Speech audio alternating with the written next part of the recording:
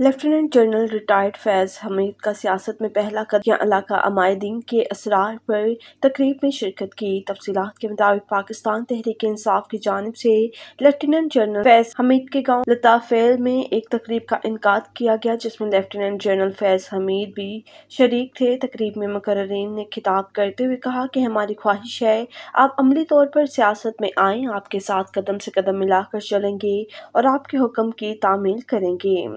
मुकर्रीन का कहना था कि जिस तरह आपने दौरान सर्विस अपने इलाके अवाम डिस्ट्रिक्ट की खिदमत की, इस तरह सियासत में आकर पाकिस्तान की खिदमत करें मुकर्रीन का कहना था कि जिस तरह दौरान सर्विस आपने अपने इलाके के लिए तरक्याती फंड्स जारी कराए, इसी तरह इस सिलसिले को जारी रखें।